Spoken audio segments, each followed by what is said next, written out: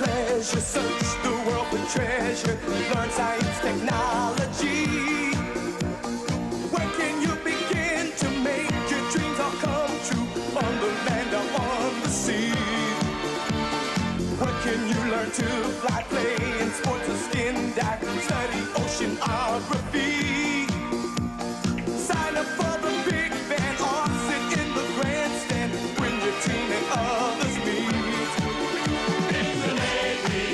Yes, you can sail the seven seas. The Navy, put your mind at ease.